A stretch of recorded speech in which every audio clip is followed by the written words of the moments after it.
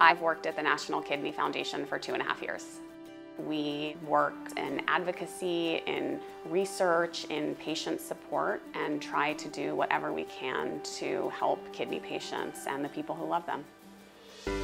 I talk to people from the federal government quite a lot so that they can incorporate the patient voice into public policy in the United States. We have over half a million on dialysis and almost 100,000 people that are waiting for a kidney transplant.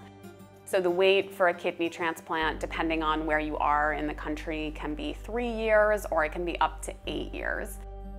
And I interact with patients every day and I know what it is like for people to wait for a kidney transplant. There are people every day who die while they're waiting for kidneys. So for me, it was a really easy decision to donate a kidney. I was a non-directed donor, meaning that my donation did not have an intended recipient and I could help one person right now.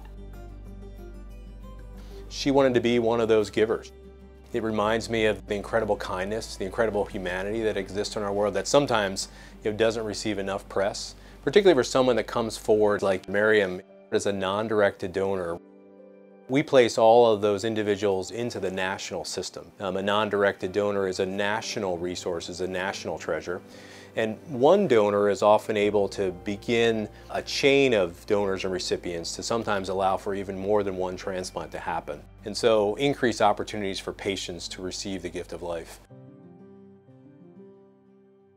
So the day of surgery, I honestly was not afraid at all. I just felt really joyful and grateful. And my surgeon was Dr. Ghasemian. He was incredibly kind to me and clearly extraordinarily competent. I felt completely confident in his hands. The surgery was extremely smooth. Dr. Cooper was there by my bedside as I woke up and he told me that my kidney was in the air going to Arizona and that they had spoken to the recipients team in Arizona and they were really excited. So that was a really special thing to wake up to. It was one of the happiest days of my life. So I would encourage anybody to do it. I found living donation to be an incredibly life-affirming and positive experience. I've talked to lots of other living donors in the context of my work and while I don't want to speak for every living donor, I can say that it seems like most people have really positive experiences and so I would really encourage anybody who's considering living donation to look into it.